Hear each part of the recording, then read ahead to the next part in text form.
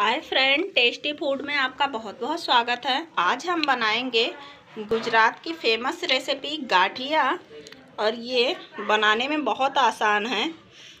तो चलिए देख लेते हैं अपनी ये रेसिपी। चलिए शुरू करते हैं। उसके लिए हमने यहाँ पे ले लिया है ढाई सौ ग्राम बेसन और सौ एम हमने लिया है रिफाइंड ऑयल। रिफाइंड ऑयल को हम डाल देंगे एक बाउल में। अब इसी कप से नाप कर हम इस्तेमाल करेंगे 100 एम ही पानी। इसमें हम डाल देंगे इतना सा मीठा सोडा। अब इन सारी चीज़ों को हम फेंट लेंगे। देखिए, इसे फेंटते फेंटते ये बिल्कुल वाइट हो चुका है। अब हमने यहाँ पे एक बाउल ले लिया। बाउल में डाल देते हम बेसन।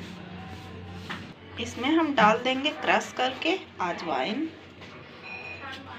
नमक डाल देंगे इसमें, टेस्ट अनुसार। थोड़ा सा डाल देंगे इसमें, पिसी हुई लाल मिर्च।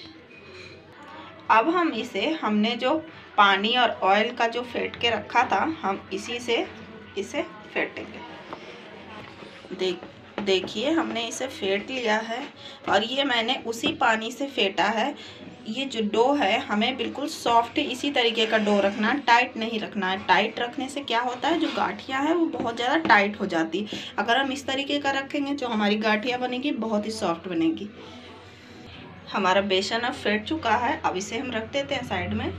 गाठियाँ बनाने के लिए हम इस मशीन का इस्तेमाल करेंगे। इसे हम ऑयल से ग्रीस कर लेते हैं, अच्छी तरीके से। गाठिया बनाने के लिए हमें ये स्टार सेब वाली चाहिए होती है, हम इसे लगा लेंगे।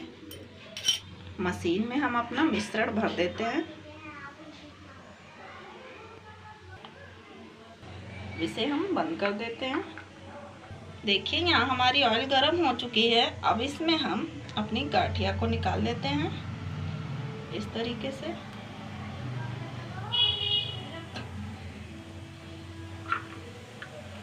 देखिए, हमारी गाठिया कितनी अच्छी तरीके से फूल भी गई है। अब इसे हम पलट देते हैं। तो देखिए, हमारी गाठिया पक चुकी है। ये कलर ना चेंज करने पाए, बस थोड़ा सा क्रिस्पी हो जाए और इसे हम निकाल लेते हैं। इसी तरीके से हम अपनी सारी गाठिया बनाकर रेडी कर लेते हैं।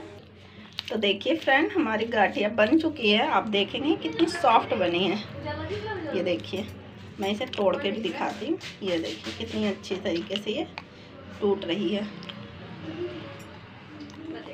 तो इसी तरीके से आप भी बनाकर ट्राई कीजिएगा। वीडियो पसंद आए तो चैनल को सब्सक्राइब करना बिल्कुल ना भूलें। Thank you for watching.